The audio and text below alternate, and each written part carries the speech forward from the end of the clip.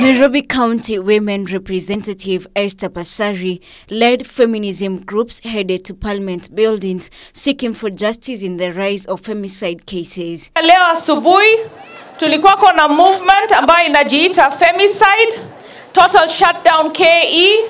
Tulikutana Freedom Corner, tukasema tumesho, tumechoka kama wamama hii mambo ya wamama wenzetu kuuliwa ovyo ovyo. Kama wamama tumesema tunataka rais wa nchi ya Kenya aseme kuwa hii abuse ambayo tunaona kwa wamama iwe declared a national disaster. Esther Pasari, who graced the event commemorating International Women's Day in Babadogo, applauded all women, urging them to be persistent enough and that they should not be humiliated. Saa ile tunaambiwa tuende tuweke kidole kwa referendum, tuseme hatutaenda referendum mpaka tupate hiyo two thirds gender, not more than two thirds.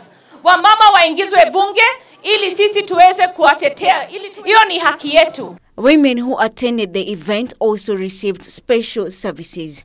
Leo hii tuko na vikundi tofauti.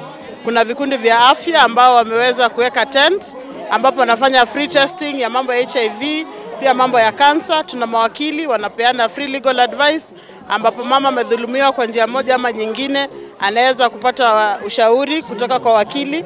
Kuna counselors ambao wanaweza kuongea nayo, wampe ushauri wa jinsi anavyoweza kupata suluhisho katika mambo yake yote anayopitia. Elizabeth Ongoro, the former senator, urged women in the country to support each other so as to avoid a few challenges facing them, especially political challenges. Wamama hai, sisi kama wamama, kila wakati wa uchaguzi, vurugu zikitokea, ni watoto wetu wanauawa, ama sio?